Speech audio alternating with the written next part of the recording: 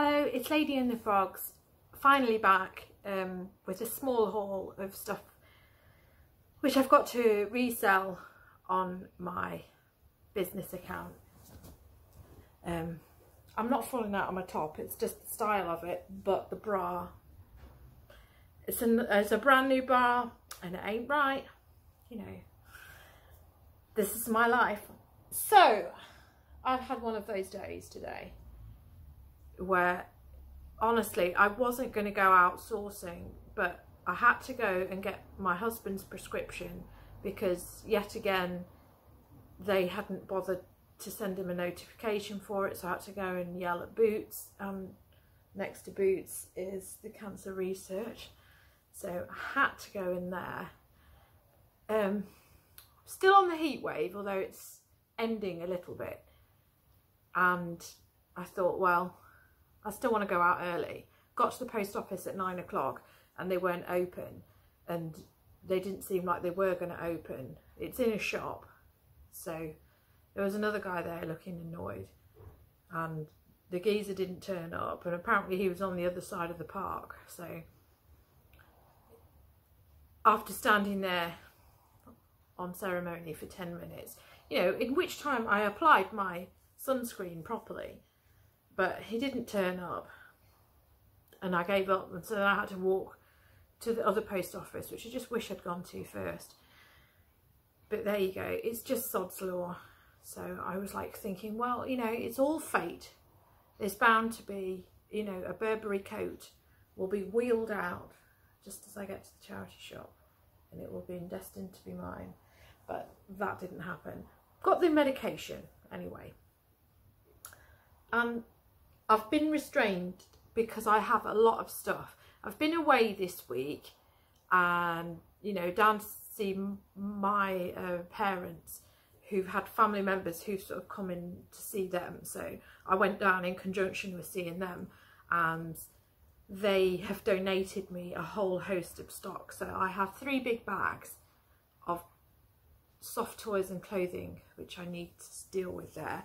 I have lots of Lego. I have lots of my other stuff. I've got, I've overspent and I just need to, you know, I didn't need to go to the charity shop today, so I've been very careful. So I'm just going to show you the things that I deemed were good enough to come back. I left a whole host of stuff like Phase 8, uh, you know, nice looking skirts and decent tops and things, which I could make money on, but I left them because I have too much to deal with.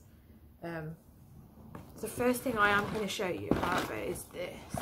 Because I think I showed this in another video.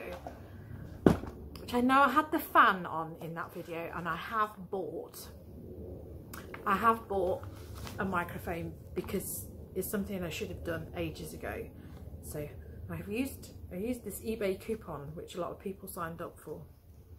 So I'm hoping that that will make a difference because I should have done it ages ago and I am sorry because it's not good enough. It's not good enough. So all of this Lego that I have here, so some of it is in boxes but it's all randomly in.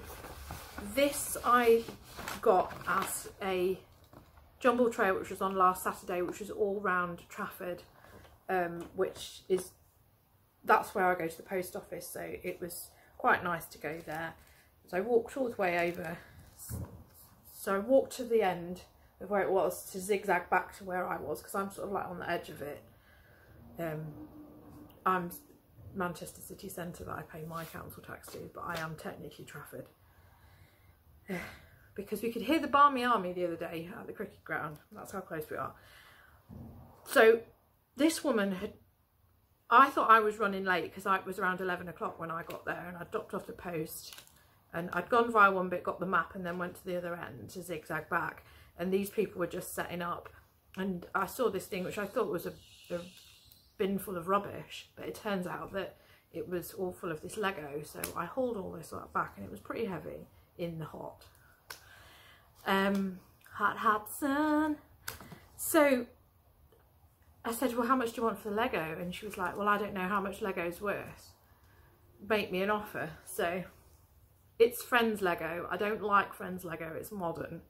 So with that in mind, I said five pounds and she bit my hand off. Um, so what I have here, lots of it is in boxes. So I've got that one, which is a limousine. I think that one probably only sells 20, but obviously it is boxed. I have got a cart and trailer. I know this one because I've had this one and I recognise the trailer. Um, because actually when I sent it off to the lady, she sent me a message one Saturday because part of the Lego was actually broken and she was like, I would never have bought this if I'd known it was broken. And, you know, I was so annoyed because it's Saturday morning and I just thought, oh, I can't be bothered with this. And I nearly just walked out the door and then I just thought, what are you doing? Come on, customer service, don't be an knobhead. You know, you're behaving like the sort of people who screenshot it and then get all to, in a get the knickers in a twist on Instagram. And then I just, so I messaged her back and I says, I'm really sorry, I didn't send it out broken. Sometimes pieces are just broken in the extrusion process. It wasn't that one, it was like the toe-in thing that fits on to this. And of course I've got all these spares and I says, I'll look for it now and I'll, it might be, I won't give you the right colour, but I'll make sure that I can get you the piece and I'll put it in the post today. And she was very happy with that. I haven't had any feedback, I haven't had any bad feedback. So that, I know that was £15 I sold that for before and it did have instructions. I don't have instructions for that one. I just know what that is because I've had it before. Um, there may be, there's a lot of other bits in here because there's some very weird little things. However, I think a lot of that stuff, a lot of the things that you can see well, I mean this, that's very obvious that that's an aeroplane. And I do have the box in here, which I'm not going to get out because it's wedged. Um, and I do have the instructions for that. I've got a load of other spares as well for that somewhere else. So I should definitely be able to complete that. But I think that one again is only about a 20 pounder. And then that one, this one doesn't have the instructions for it. And I don't think that one oh, it's on the floor now. So that, yeah, that was that. oh, I'm not good at this, am I? Now the horse box is in pieces. I do, I am going to probably prioritise looking through this because I've got so much Lego at the moment and I know where I know where all my uh, are for my friend's Lego because it's also gaudy. So this, what is it? Does it say what it is? No, it never do, do they? So whatever that is, is probably half of that Lego is now under the sofa. But anyway, so yeah, I've got the instructions for the limo. So that's that one. Then there is this random one here which is just some police set. I doubt that will be fetching any more than £10. Um, I will definitely have that with all my other spares because I recognise that. And then this is the best thing. This doesn't have a box because it would have been one of these really big boxes, this. So this, I think I'll be able to get about £75. Although I've only looked up sold prices for the last month or so. It may well be that this is more like an £100 thing around Christmas. So I'm going to see what it was selling for last year. So this is Hotel, I believe it's called. I've got another um, piece of the instructions for it. Does it say what it's called? I don't, the thing is you end up going on the website to find out what it's called. yeah, I don't know. Don't know at all. I'm really not au fait with um, Friends Lego. But this looks like it will be really cool. This will be about as big as a doll's house. You know, comparable in size to some of these, you know, some of the Harry Potter, like the Harry Potter castles. There's so many different versions of that. Now I'm sure that I've got lots of these pieces because I know that that's the swimming pool. Um, and I've got various pieces of construction. It's not coming out. Anyway, I've got most of the like walls. There's a clock there. So I'm quite happy, quite confident that I've got most of these things. It's, I can see that I've got a lot of the modules for it. So there's a bedroom that's made up. And I've definitely got the bit that says Grand Hotel on it. And I've definitely got the revolving door, which I've seen. So I think my investment of £5 is safe. Because obviously, even if it, even if I just spent £5 on that, I'd be in the money. And I know that I've got one, two, three, four, five, six sets in here. I, I know that there's six sets in here. And with the spares that I have, which I accumulate, I will definitely have enough for that. So that's, I did get other things from the Jumble Trail, but largely people were asking crazy money and a lot of I did get a few clothing items, but then other things, I just didn't think that they were worth it. So this is what I've picked up today. Um, so these jigsaws, these are quite old. And one of the biggest, there's something in there. Probably a fucking mouse in there. Something felt like it was moving and I don't think it, I don't think it was me plucking the the elastic band. So that will be exciting. You know, we have, I think the mouse is long gone because we did have a mouse in the apartment at one point and I've been hearing it in the ducting and then, but I know it's just a visitor and it's stuck in the ducting and it was from downstairs and I saw the neighbour on the, on the stairs and I said to her, I says, I think we've got a mouse. And she like screamed on the stairs. And I was like, well, you know, you can put poison down and glue traps. I says, but the best thing for it is a cat. And lo and behold, yesterday I noticed, you know, one day this week when we were out on the balcony, I was looked down through the balcony with slats and there was a cat looking at me. so that would be why we haven't got a mouth. So anyway, digressing again, um, these, they're quite old made in Great Britain, you know, Waddington's branding doesn't look like this anymore. It's probably from the 60s.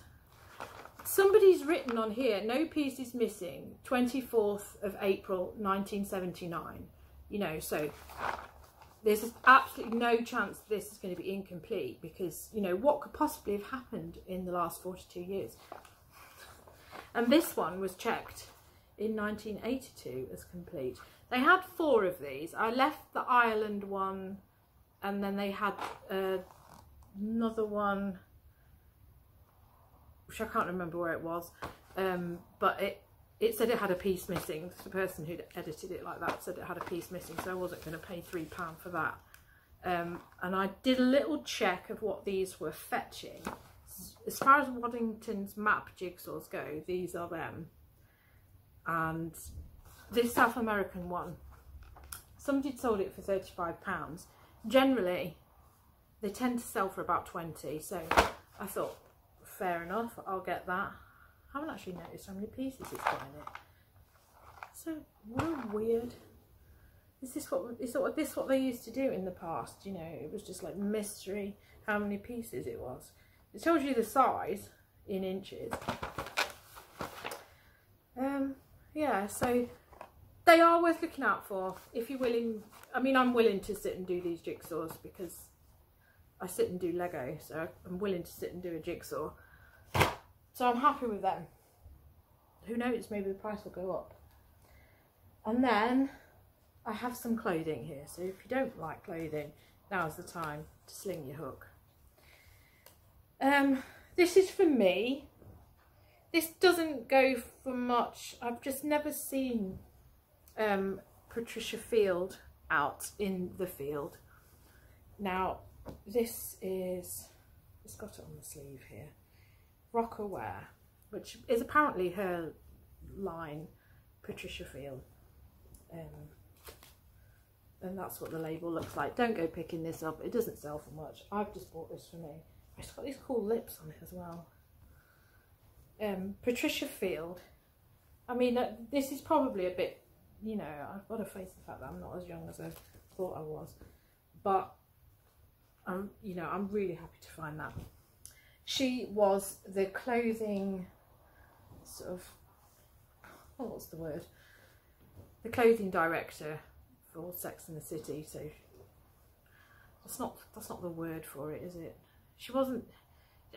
I don't think it's designer so much in that she just picked out you know pieces that would work with the characters. So there you go. Now this is a piece that I have picked out because of what it is because of the print on it. So look at this print. Look how amazing this print is. I mean, this is so, you know, 50s, 60s that I absolutely loved it. And I just thought, this has got to come back because somebody is going to absolutely love this. It's H&M. Um, it is missing a belt. I have paid £3. It is a small size. But I, honestly, if I can't sell this, then I need to get a real job. Because this is an amazing little dress. And then I have got an England top. This, I do know it's 2008. That's not because I'm skilled. It's because, of, well, I am skilled because I have learned to read. It's a dying art reading, you know, as a lot of us will know if we sell on eBay. People don't read things, but it does say 2008 on there, so I was able to look it up. It sells for £20. Somebody sold it for 35 but you know it's a bit difficult at the minute to judge how much England tops are actually worth because obviously the sales the solds that I'm looking at are influenced by something that happened recently so who even knows what the actual sales price is? But I think my you know I, I think that was definitely worth picking up. And this is a skirt uh, it's a size 14 uh, yeah it's got a built-in wrap on it that needs to come around here. Not that it's going to make any difference because it's still just going to look like a piece of fabric because I'm sitting on the sofa but a long skirt and it's Boden um, I will pick Boden up because Boden is an easy seller. Like I said today I have left behind um, I haven't seen any fat face but I probably would have left that behind. No I did see fat face and I left it behind. Um, I left the phase 8 behind because I think that's been a bit difficult at the minute. Um, and then I thought a metallic fibre cardigan which is also by Boden um, and that's uh, 14 as well. Boden so yeah, I think that's decent because we've probably only got a, a month or two of summer type activity before people start thinking about bunging a sweater on. Although it doesn't stop anybody around here because yesterday I've seen a lot of people in heavy coats, you know, it make you know, it makes you feel sick, but you know, there's people walking around with masks on in the street. I saw somebody today who had her two children wearing masks in the street out in the open air and it just it just screamed of child abuse to me but you know there you go I just don't think that you should be you know I, I, I don't see why a six-year-old should have to wear a, a, a medical mask in the street it's just it just bewilders me you know what's wrong with people another jumper there with a star on it. Uh, stars always seem to be, you know, decent. Um, it's got some metallic thread in it and it feels really nice, but it's not cashmere. It's got a very small percentage of alpaca, but it's very nice and it's white stuff and it's size 12. So that shouldn't be an issue to sell. And then I've picked these up. For some reason, well, they're priced at £2. Oh yeah, they were in the women's. I don't think they are women's. I think they're men's. I do think they're men's. Um, and the reason that I know that is because I have just this week put something on. And these are men. Women don't wear this. Women do not knock around wearing shorts with motifs like that on, you know, unless, you know, they're a bit avant-garde. And this is, this is so green, you know, it could have a shamrock on it. But the brand is Salt Rock and I've had a t-shirt that I was listing this week so I didn't actually search it on under Salt Rock t-shirt. I just put Salt Rock on because there's not many pieces there but I do remember that the jackets and the shorts and the bottoms other bottoms were selling at decent prices. So possibly around 30 for that if not 40 I don't know. But I was fairly confident picking that up at two. And another thing which isn't weather appropriate at the moment, and another brand which I find a bit iffy, I've seen jeans in this brand before. The brand is uh, Police, which was absolutely huge in the 90s. You know, and it is quality stuff. I mean, it's got a really nice zipper on it. It's a double zipper as well. And even the pockets are zipped with the logo on it. Uh, it's not leather, it's PVC.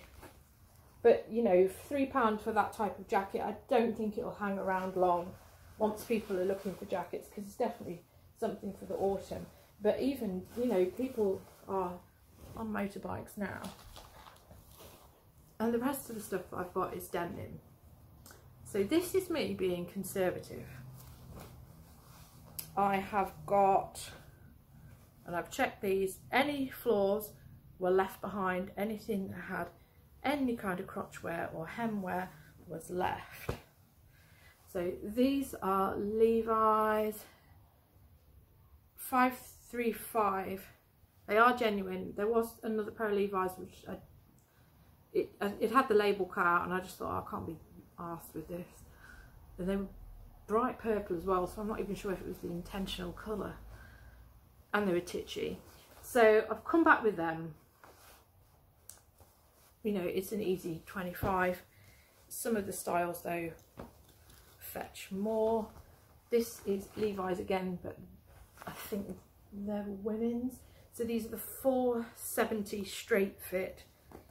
Um, and it is genuine. I've checked it out with you know checking the studs and the you know the rivets and the rest of it. So I'm quite happy with them 470 should be another easy 25 I think maybe they have put them on as men's but I think they're women's. Well, they might even be unisex. Oh then now these. I think these might be for me. It they're by poetry. Um, I'm not even, you know, the,